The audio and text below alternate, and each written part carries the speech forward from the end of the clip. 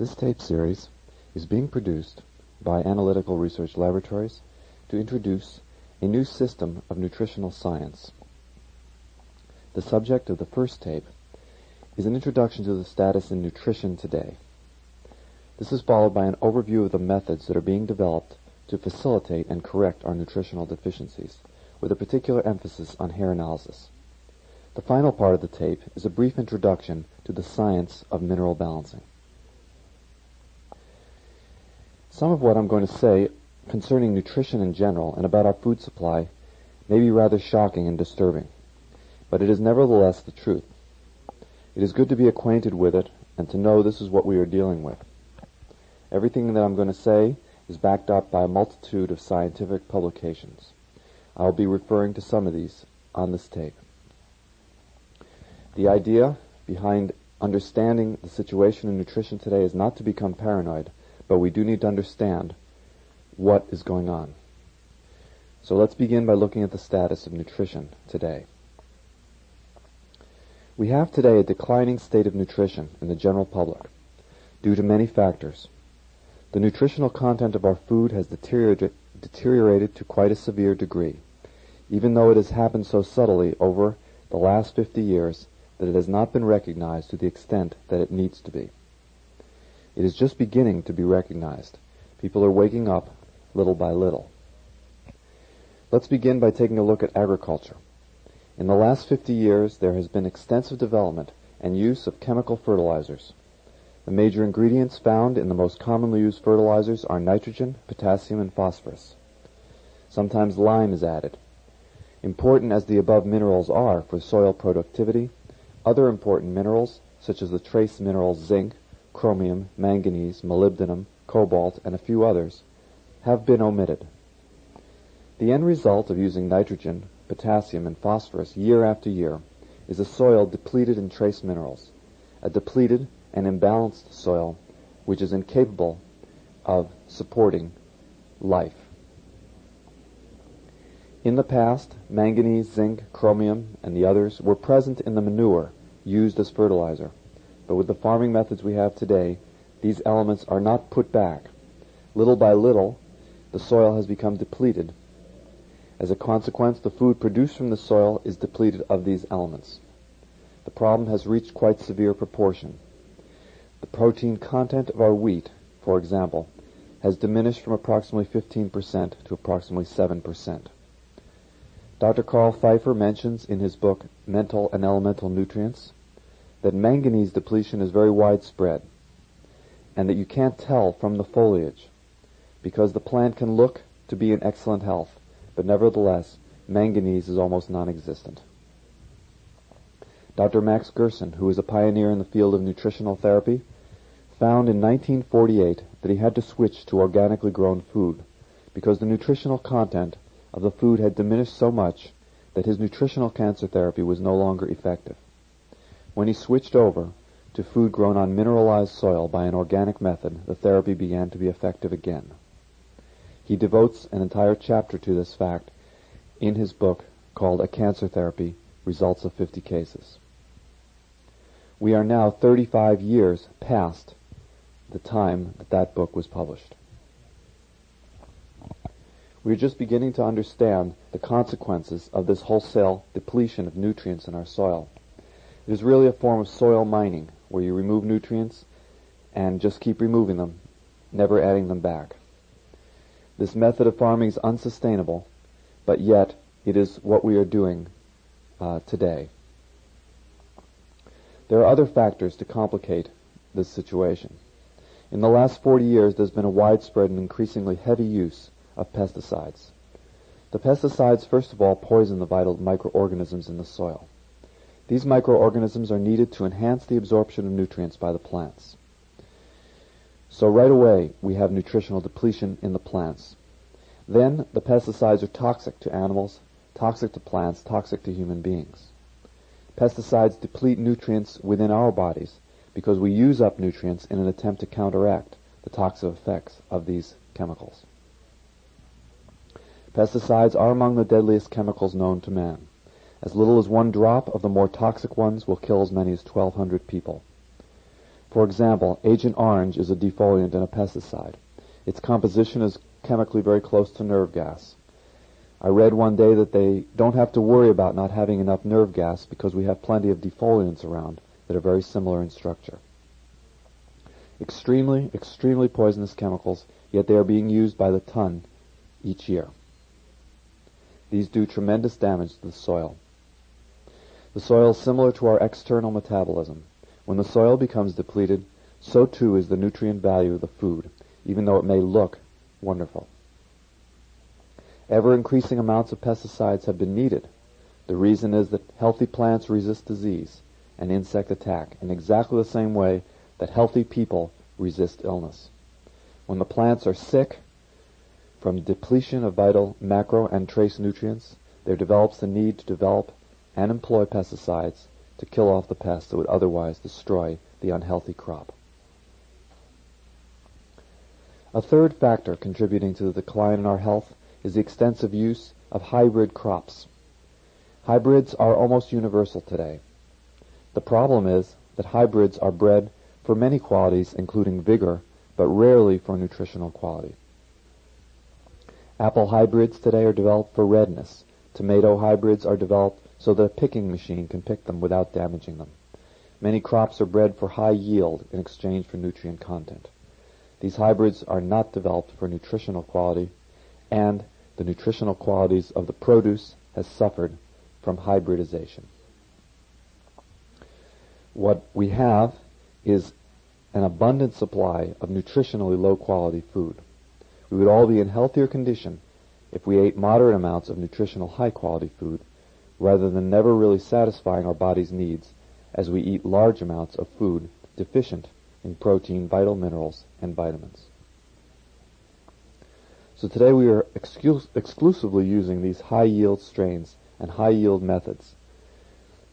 And the primary focus is on quantity, not quality. Everything I'm talking about here, by the way, is thoroughly documented. If you're interested, I suggest a magazine called Acres USA, which publishes technical articles every month concerning soil analysis, food analysis, and in-depth articles on pesticides and other agriculturally related topics. Soil erosion and other unwise farming practices have also contributed to the depletion of nutrients. There is an official line, of course, by the USDA that says that all this is not true, that the food we eat is just as good as it ever was, and that there is no difference between the food grown on soil fertilized with compost and chemically fertilized soil, and so forth.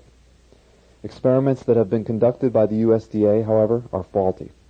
One of the reasons that they are faulty is that in order to build up a soil, it takes years, just as it takes years to build up a body nutritionally.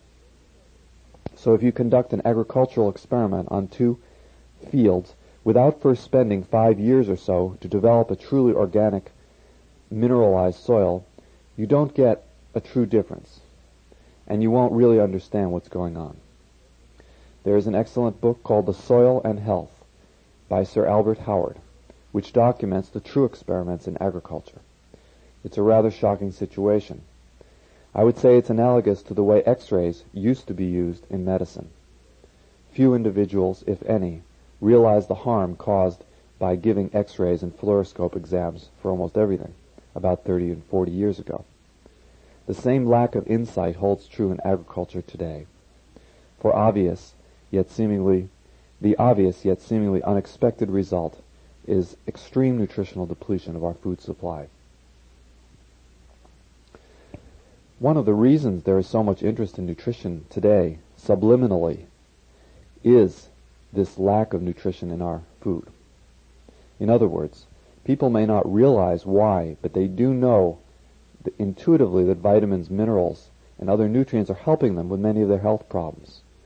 Well, the reason they're helping today so much is because their bodies are severely malnourished.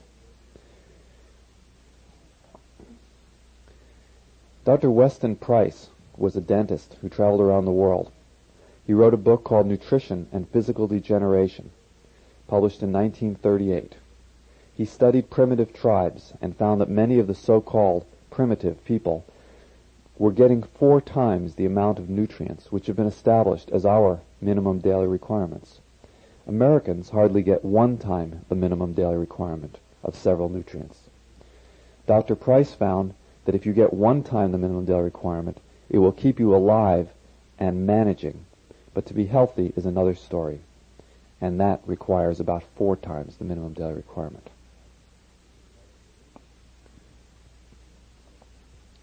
In addition to the previously discussed factors in agriculture, we today have nutritional depletion due to transport and storage of our food.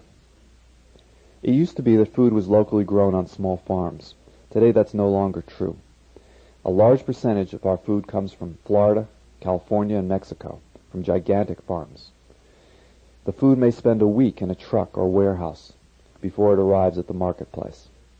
Certain nutrients decline rapidly when they are stored.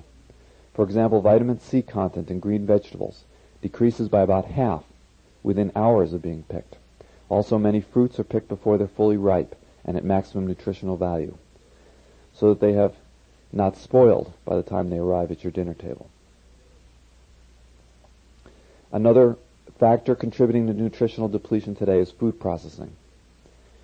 Consider the following. Did you know that white flour in the United States at one time was seized by the FDA as unfit to eat? The case went to the Supreme Court. White flour was considered an adulterated food because of the use of a bleaching process which is still being used today. The flour companies, needless to say, managed to get around the Supreme Court decision. This is described in a book by Dr. Harvey Wiley, the first head of the FDA. The name of the book is The history of the crime against the food law. Same holds true of Coca-Cola. It was also banned in the United States, and the case went to the Supreme Court, and the verdict was overturned. These so-called foods contain several harmful substances and little, if any, nutritional value. In about 1945, white rice was fed to pigeons. The pigeons curled up with polyneuritis very rapidly from a lack of B vitamins whereas the natural brown rice was able to supply the B vitamins. As a result, uh, the government forced the uh, companies to put back a few essential nutrients that they knew about B1, B2, B3, and iron. The end result is what we refer to today as enriched bread. Some so-called authorities claim that this enriched bread is every bit as good as the bread made from whole wheat flour. In the refining process, however, about 40 nutrients are removed that we know about, and probably many more that we have not yet discovered. Then the companies enrich the flour with about four nutrients. This is analogous to someone robbing you of $100 and then enriching you with $4. The same wholesale removal of nutrients also holds true with white sugar.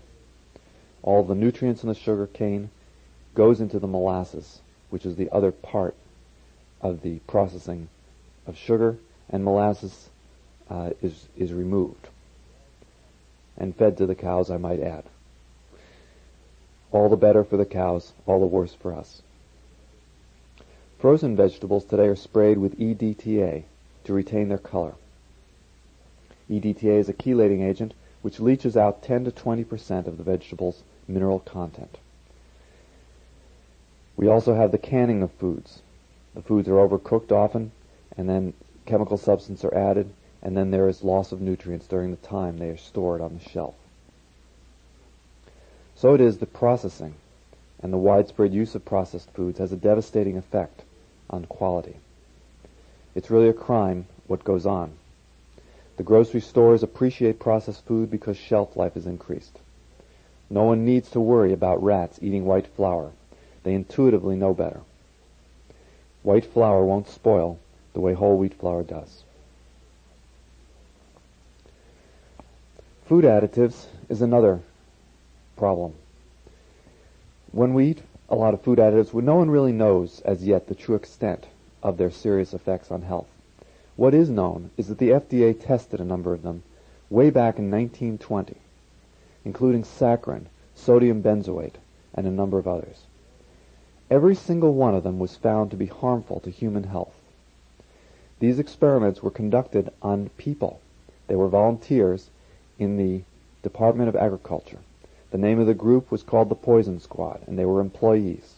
They volunteered to ingest small amounts of these substances over a period of time. These experiments were very carefully controlled. All the individuals had to eat all their meals and give all their urine and feces for analysis. Every one of the additives, many of which are still used today, had to be discontinued because the volunteers became ill. This is also detailed in the book, The History of the Crime Against the Food Law. To make matters worse, there are now over 3,000 food additives being used in our foods. For the most part, their interactions with other chemicals is largely unknown. It's one thing when you eat one or two additives, but what if you're eating 10 or 12? This is another factor important in nutrition today. One of the conclusions from all this that we are forced to reach is that nutritional knowledge, number one, is very important today. It is also the reason why books written about nutrition that were written 30 years ago do not apply today anymore. In this regard, natural healing books, even those of uh, doctors Herbert Shelton, Jethro Kloss, Arnold Ehret, are not up to date. There is a vital need to go beyond the nutritional advice of these early pioneers of nutrition because the situation today is much worse. It was much worse when Max Gerson wrote his book in 1958, and we're now uh, 30 years just about past there. Today we are diff- seeing an entirely different type of burnout. Dr. Paul Eck has said that within the 10 years he has been doing hair analysis work, he has watched nutrient values drop precipitously on the hair charts. That's how quickly our health as a population is deteriorating today. Now, as though the food factors are not enough, there are a couple of other factors. Today there is widespread use of medical prescription remedies and over-the-counter remedies. Many people fail to realize that these medications, while they may do some good, they deplete numer- numerous essential food nutrients. Some of them do a fantastic job of depleting nutrients. For example, most of the cancer chemotherapy side effects are due to depletion of vital nutrients. That idea may sound incredible, but I know it's true because I put people on nutrition programs who were on cancer chemotherapy, and all the side effects of the treatment eventually went away. That is, they were no longer tired. Their hair ceased to fall out. Joint pains ceased. They were able to continue the treatment, and yet um, they did not have side effects. Nothing else was changed. The side effects were caused by nutritional depletion. A great many people, especially the elderly, are taking four or more different medications. These medications cause havoc with their nutritional status. A special hazard for women are birth control pills and copper intrauterine devices. According to statistics, several million women are currently taking birth control pills. Another factor is stress. We know with absolute certainty that stress of all kinds depletes nutrients in the body. Air pollution, water pollution, the sensory overload of living in our cities, driving in the city, all these things adversely affect our nutritional status. Zinc reserves may become severely depleted within minutes of encountering a stress. They are giving zinc in burn centers today because the doctors realize that people under great stress become tremendously zinc depleted. Fifty years ago, the pace of life was slower. The air and the water were generally cleaner. We didn't have the multitude or the severity of stress that afflict us today. There were different stresses, but the rapidity of, of change today and of life uh, is unparalleled. These are some of the reasons why nutritional science is becoming more important and will become even more important. Many of, the, many of the issues that I'm discussing are not being addressed nearly seriously enough. So the situation is going to continue to worsen before it gets better. The medical profession has not yet tuned into the problem for any number of reasons.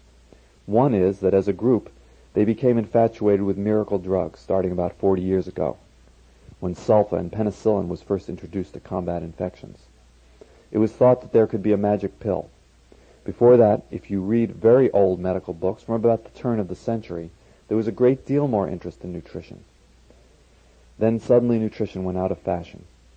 The medicine we have with us today is a medicine based on the predominant problems 30 and 40 years ago, which were the infectious diseases. The medical profession has done well in combating the infectious diseases with antibiotics. However, today even antibiotics are losing their effectiveness from overuse and because you must have a sufficiently uh, um, well-nourished body in order to even use the medicine. A major problem is that this depletion of the vital elements is a relatively new phenomenon. The medical profession is not caught up with this phenomenon. And as a result, we are now dealing with this problem. Medical doctors have not been trained in recognizing nutritional deficiencies. One reason why nutrition has been neglected is that up to the relatively recent time, it has not been possible to precisely measure nutritional deficiencies. With the discovery of atomic absorption spectrometry, which is used to analyze soil as well as plants, and can analyze human tissue for their trace element content, all this changed. An accurate method of determining nutritional deficiencies through examining hair or other body tissue came into being and is referred to as hair analysis. Before we discuss hair analysis, let's begin by looking at what is being done in the area of nutrition to correct the problem. The first step is to eat natural foods. This is one level of nutritional correction. It is a start, and certainly is an important basis for health. In many cases, it is very difficult to accomplish anything if you continue to insist on eating junk foods, chemical additives, and so forth. However, we, will, we must be aware that many people will not get well and will not have optimum health by just eating natural foods. The reason for this is that many complex biochemical changes occur when a person becomes nutritionally depleted. It is well known that nature abhors a vacuum. When you become deficient in, let us say, zinc, you begin to accumulate other elements, such as cadmium, this replaces zinc and becomes attached to the binding sites previously occupied by zinc. It doesn't do as good a job. It's like a replacement part on a car that's not quite as good as the original, but it does work to some extent and allows certain enzymes to function 60 or 70 percent. Much of what has happened to cause the deterioration of our health is due to the replacement by substitute toxic metals at binding sites where essential minerals should be present. The amount of zinc contained in the natural foods we eat daily is not sufficient to displace and eliminate the cadmium in our body. As a result, a return to optimum health becomes impossible just from eating natural food. Today a diet, a good diet is the beginning, but it is rarely enough. I used to believe that eating good food was enough to get well and it never worked, and we've learned otherwise. There is yet another reason why good natural diet alone will not suffice. An important concept which we will continue to refer to in later tapes is that of biochemical individuality. The concept of this individuality is based on the fact that some people require more of certain nutrients than they need of others. One food may be significantly essential for someone, yet that same food may be detrimental for another. Just eating good quality food, which is a good start, is not adequate because everyone is different.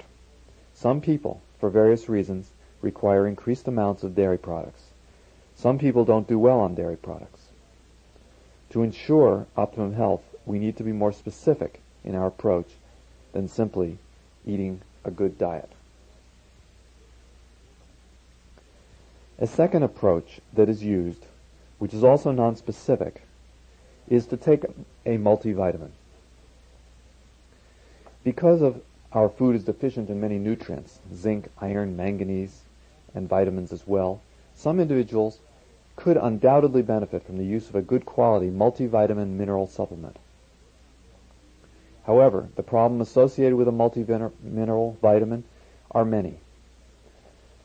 First, there are brands which do not contain what they claim to contain, or contain harmful fillers, binders, colors, flavors. These can actually cause reactions and make a person worse. More importantly, they contain nutrients, both vitamins and minerals, that your particular chemistry doesn't need.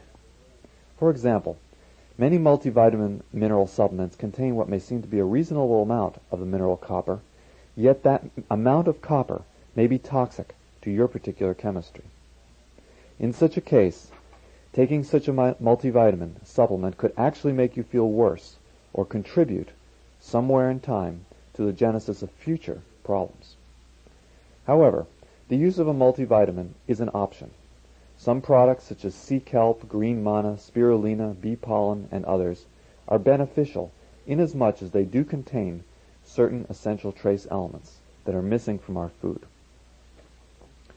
However, taking a multivitamin mineral supplement is a general approach and is not a specific and precise approach to nutrition. A more tailored approach to determine what nutrients are needed or not needed is to employ a specific analytical method, and there are many of these available for determining nutritional needs.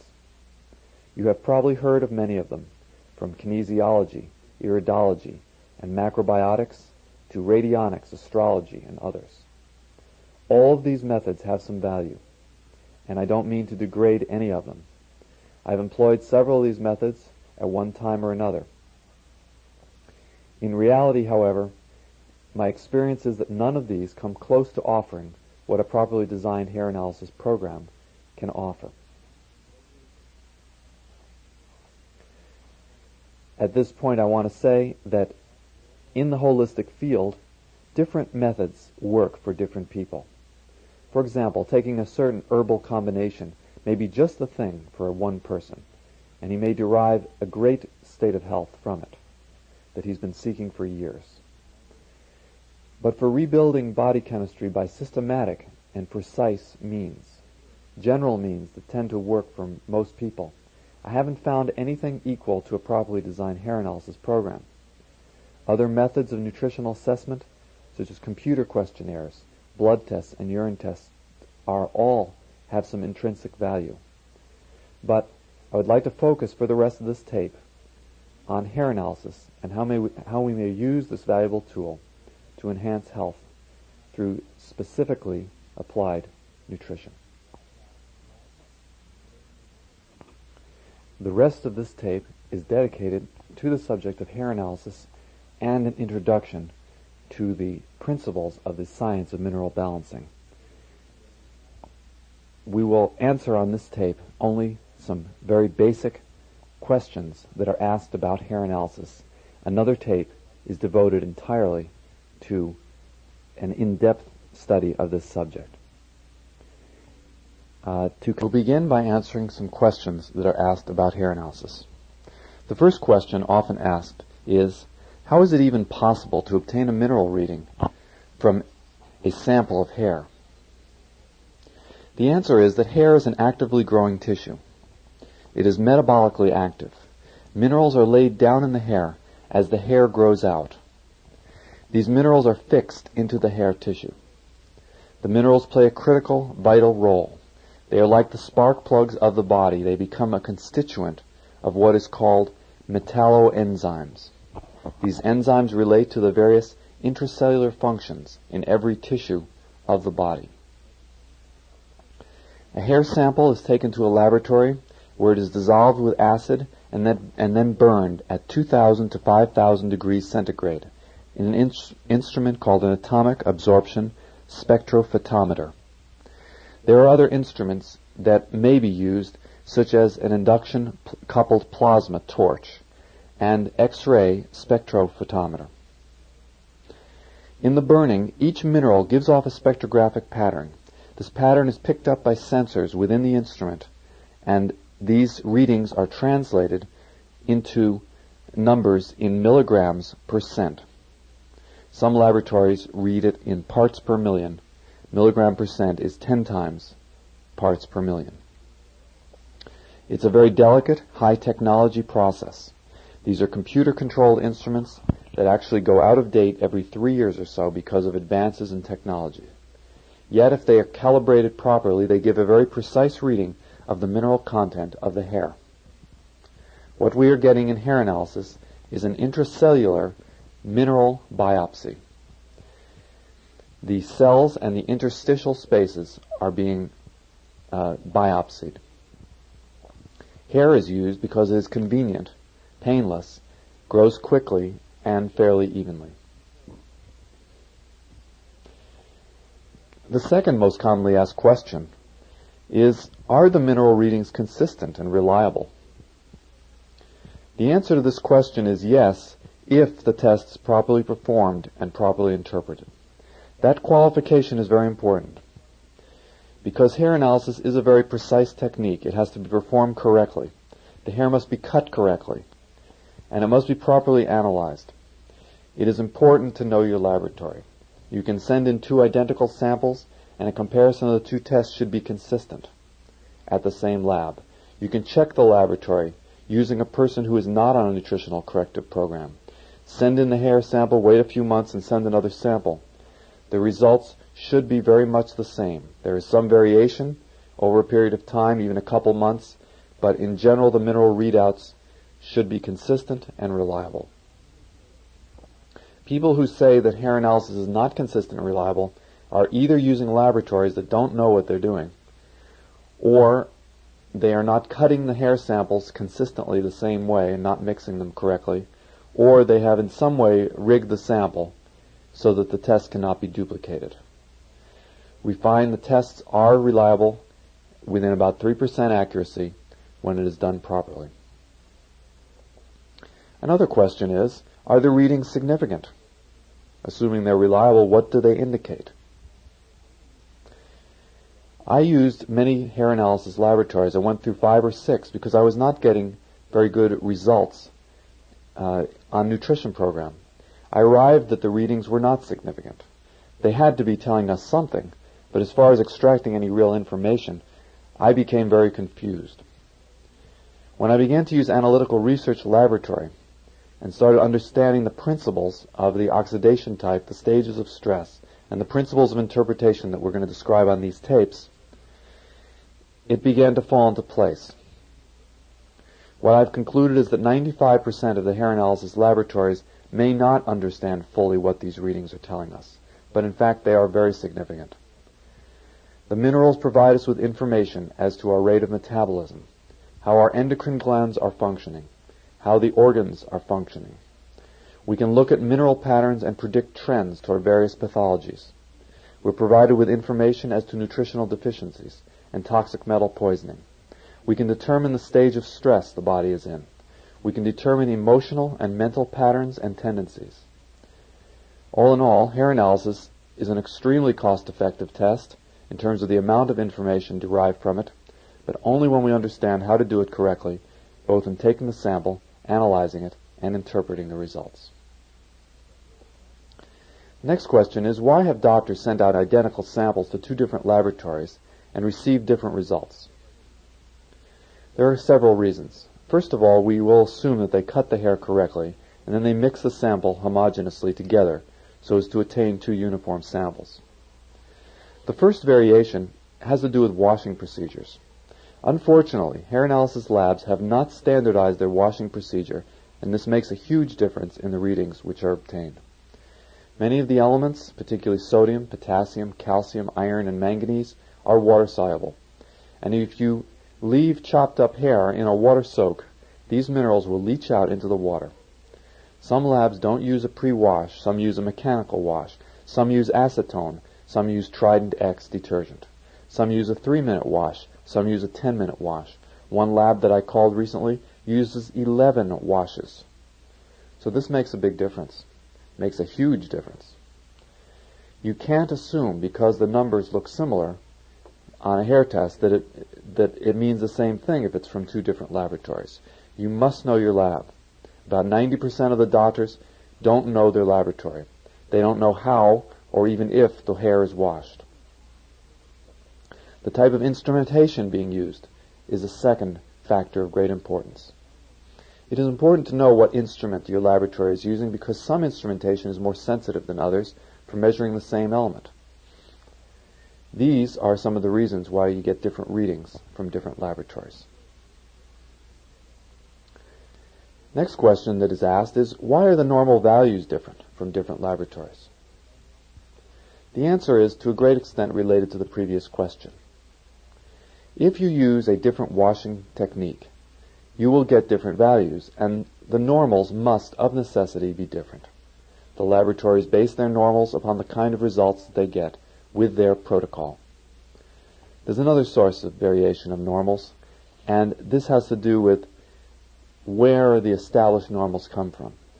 Some laboratories use the average American. Quote, average healthy Americans. Well, average Americans aren't all that healthy, as we talked about on the first side of this tape. As a result, the values they obtain will not be reflections of optimum health. Some use, labs do use healthy athletes or other groups for establishing normals. Analytical research laboratories did use healthy athletes. So the normal values differ from lab to lab for numerous reasons. The washing procedures and the instrumentation are used affect the normals that each lab arrives at. Uh, however, there are no established normals at this time, and therefore there will be some variation. Another question that arises is, are there scientific studies to support hair analysis? Well, this technique has been around for about 30 years. The methodology has been used for testing minerals in the soil, and it's been used in veterinary medicine for testing mineral nutriture of animals and livestock. There is an enormous amount of literature available. Anyone who says that there isn't good scientific studies either has their eyes closed or they don't want to acknowledge it.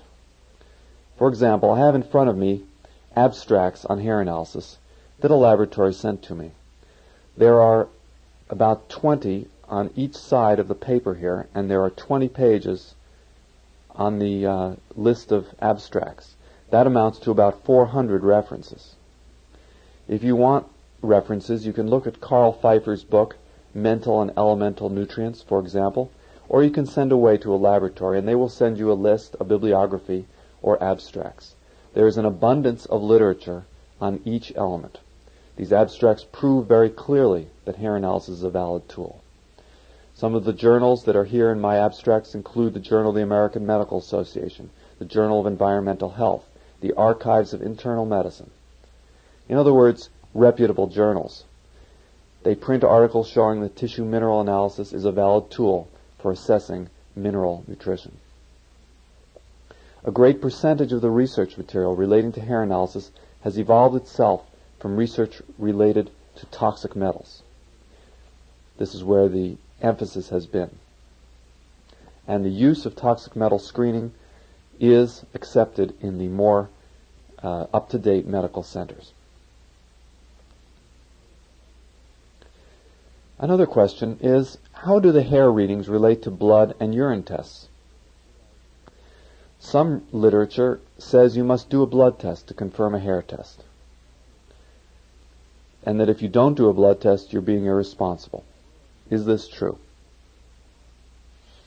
The answer is it's not true. First of all, a blood test cannot confirm a hair test. A hair test is a tissue test.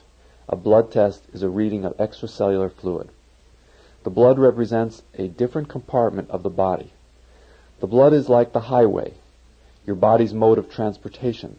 When you get a calcium reading in the blood, that calcium might be going from the intestine into the bone, or from the bone into the tissue, or from the tissue into the urine. You don't know where it's coming from or where it's going to. Blood analysis provides a different type of reading completely. You cannot correlate mineral readings in the hair with a mineral reading in the blood unless you understand exactly the metabolism behind those readings. This is not to say that there's not usefulness, of course, for blood tests, urine tests, and other correlating tests. And they may be used together. But you don't have to do them together. You cannot confirm a hair test with a blood test reading. That thought is ridiculous. From my experience working in the medical field and now working in the hair analysis field, I find that many times the hair test, if you want to do just one test, is a much more useful screening tool. Certainly for nutritional correction, this is the case. Blood tests are useful for many other determinations, such as to detect anemia or cholesterol readings. This is fine, and blood tests are excellent for this. However, for nutritional correction, a hair analysis is much more useful than blood and urine testing. You can't tell what's going to be on a hair test from a blood test, and you can't tell what's going to be revealed on a blood test from a hair test, necessarily. They are different kinds of tests. There is some correlation if you understand the biochemistry, but that is all. For example, a slow oxidizer often has a high blood cholesterol level and a low blood glucose level. This comes from understanding the chemistry of slow oxidation. Slow oxidizers have trouble releasing glucose, and they tend not to use cholesterol properly. But they, these, this understanding does not come from directly correlating readings. It comes from understanding the chemistry behind the readings. Another common question that is asked is, do the hair readings indicate the total body load of a mineral? There was an article not too long ago in the New York Times by Jane Brody, the nutrition uh, correspondent, that hair analysis isn't valid because it doesn't show the total body load of a mineral. Well, no one ever said it did. Clearly, it doesn't. A hair test only tells you what is within the cells of the hair. Norms have been found for these values, and abnormal variances have been correlated with certain dysfunctional metabolic trends. Hair analysis does not give you the total body load of a mineral.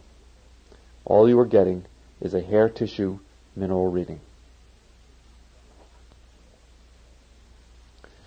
Another co- question commonly asked is, what about contamination of the hair by hair products, dust, and other things? There are those who claim that hair analysis is invalid because of the contamination of the hair. Well, you would think so. I used to think so. I used to think, gee, isn't this going to affect the test? Surprisingly enough, it doesn't. Analytical Research Laboratories had its employees ride in on their bicycles when it was 110 degrees in Phoenix, and they were dripping with sweat. They took a hair sample and then had them shower, wash their hair, and take another sample. And the results just didn't vary that much. The hair is not that porous. This is one of the keys. However, there are certain products that do affect mineral, mineral readings, and it's important to know about them. Grecian formula hair dye, for example, is high in lead. Head and Shoulders anti-dandruff shampoo is high in zinc. Selsun Blue shampoo is high in selenium. Swimming in pools can raise uh, copper levels. However, we find that most people wash their hair and that the usual shampooing of the hair removes the direct environmental and dust type of contamination. And most of the people uh, who we deal with are in a fairly good state of hygiene. Permanent waves do affect the mineral readings, and as a result, after a, a permanent wave treatment, uh, the hair should be washed about five times before submitting a hair for testing. The majority of hair colorings, sprays, shampoos do not contain significant amounts of mineral and do not affect the mineral readings in a significant way. Another question that arises is, do all the laboratories interpret the hair test the same way? The answer is clearly no. In the last part of this tape, is going to deal with mineral balancing science as compared to other methods of interpretation. My experience is that every lab in, uh, interprets the hair analysis differently. I've not found any two labs that do it the same. Every lab has their resident nutritional consultant or expert who interprets the test and who sends you back a program that tells you what minerals and vitamins are recommended. And that for the same pattern, each lab has a different uh, interpretation. It's very confusing. It's enough to drive anyone half crazy unless you persist or are fortunate enough to find a lab that is really doing good work. The reason this tape series is being made is because labs uh, interpret results differently and because there's a need to clarify the principles of interpretation and to make this into a science and not guesswork. Another question asked is how can you even design nutrition program that has vitamins in it when we are only testing minerals? Articles have appeared in the press claiming that hair analysis is fraudulent because vitamins are recommended when we're not even testing for vitamins. The answer is that we don't recommend nutrients based on the mineral values alone. The mineral values are raw data. With those numbers, we then construct a picture of the body chemistry. That picture might read something like this. We might say the thyroid gland is overactive due to the presence of a toxic metal, which is having a stimulatory effect. Or the kidneys are under strain and the enzyme systems that require manganese are defective in their function because there is a deficiency of manganese. So forth and so on. We might say the digestive enzymes are not being secreted in proper quantity because there is a lack of zinc which is required for their formation. As a result, protein metabolism is impaired. You see, those are the kinds of pictures we get from the hair analysis. We're not just saying you have a low zinc, take zinc. That is referred to as replacement therapy, which is a less than effective concept and methodology. And when we know a picture of the chemistry, we can then know that certain vitamins as well as minerals can be of help to that person. To understand the fallacy of replacement therapy is very important, and we'll come back to this on a later tape. Many of the studies that are used to disprove hair analysis um, are based on the replacement therapy concept. For example, there's one that is often quoted by um, uh, traditional authorities from the University of Zimbabwe, in which they fed rats zinc and they did hair tests before and after. They found that the zinc levels did not rise, so they decided that hair testing was not significant as a testing method. Well, the reason this study didn't work is because you can't do it that way. It's necessary to see the entire metabolic picture. The zinc reading, upon feeding zinc, may actually go lower. This does not mean that hair analysis doesn't work. What it means is, is that the interaction of giving zinc with the rat's metabolism at that time did not result in deposition of zinc in the tissue the rat may have rejected the zinc, and as I say, in some people, in some metabolisms, giving zinc can actually lower the tissue zinc level. So in fact, it is necessary to construct an entire picture of the chemistry and to interpret the test properly, and only then can we recommend legitimately minerals, vitamins, and foods. Otherwise, uh, the replacement theory is a is a false theory. It's a it's not a holistic approach, and it um, it's a single element approach, and it doesn't work. Finally, the question is often asked, what are the trends that are printed out on hair analysis programs? It will say something like, you have a tendency to adrenal exhaustion, arthritis, and allergies. And the person may not presently have any of these symptoms. Some will discount the analysis on this basis. Well, the source of those trends is that by studying thousands of hair tests, correlations between mineral patterns and trends towards certain diseases are now well established. Significant correlations have been found between mineral patterns and illness. If your patient exhibits uh, the pattern for a short period of time, the illness may not have surfaced or manifested. If the pattern has existed for an extended period of time, it has become chronic, for example, there's an increased probability that the dysfunction will manifest. However, a trend is only a trend, and it is not a diagnosis, and there's no way to tell how long that trend has existed. Therefore, on many people, the trends will show a disease, but that disease will not be present. Ongoing research proves out these trends. They come up time and time again as we work with this tool. They are not diagnostic. diagnostic. Uh, hair analysis is a screening tool, but the trends say that, for example, if you have a high cadmium, there's a good chance that you can have arthritic symptoms or hardening of the arteries. High cadmium is associated with hardening of the arteries, high blood pressure, etc. So it is a trend, and that is all it is. It's an indicator of possibilities. It is really very nice because hair analysis is a predictive tool and therefore preventive. If you note a trend, you can head off that trend years before the person manifests the illness.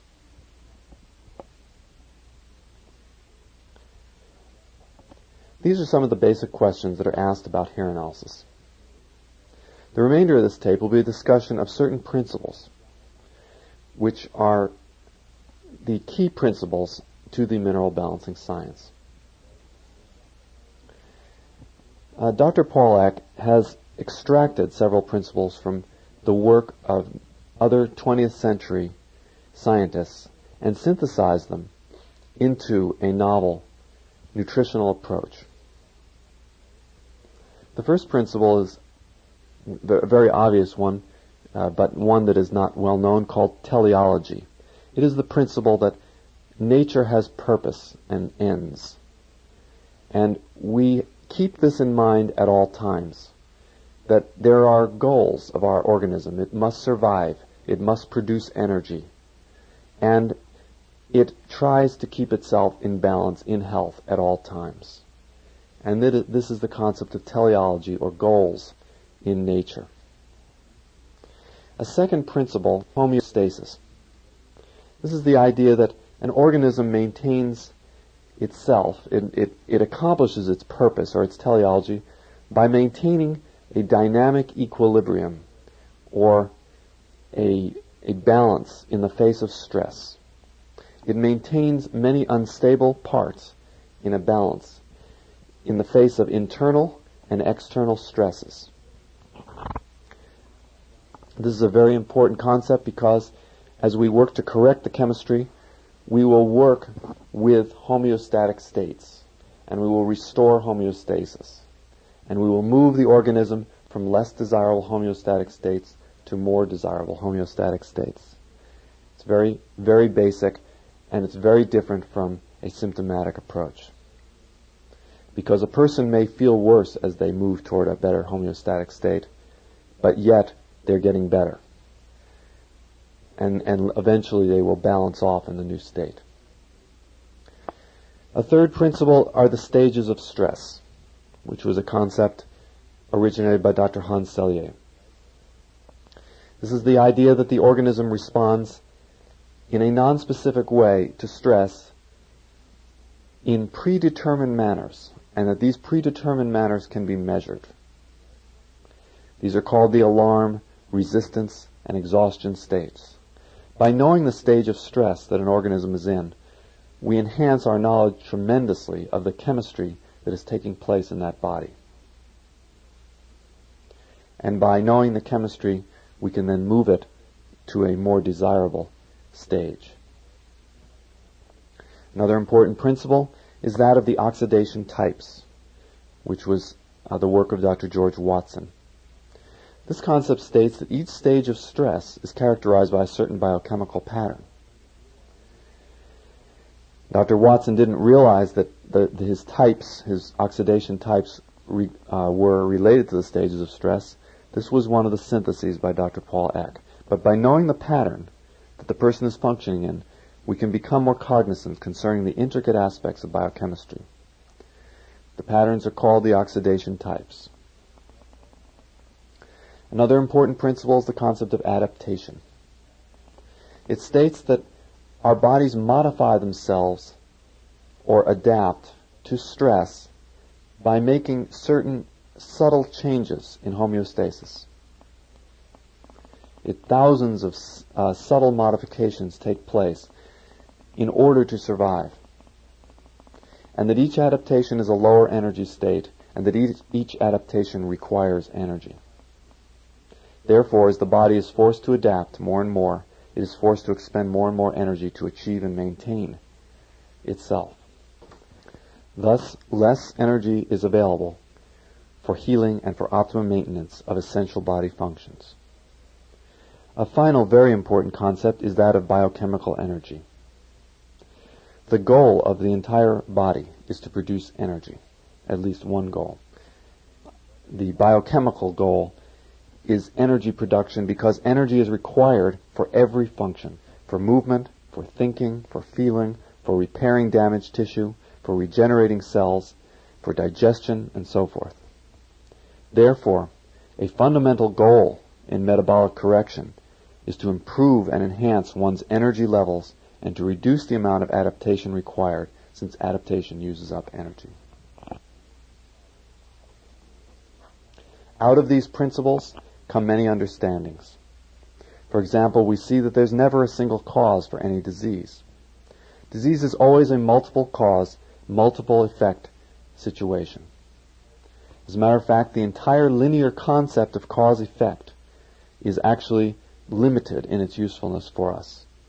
Because there are always many factors, such as diet, emotions, attitudes, nutritional deficiencies, environmental toxins, and other stressors, all of which interact to produce health or disease.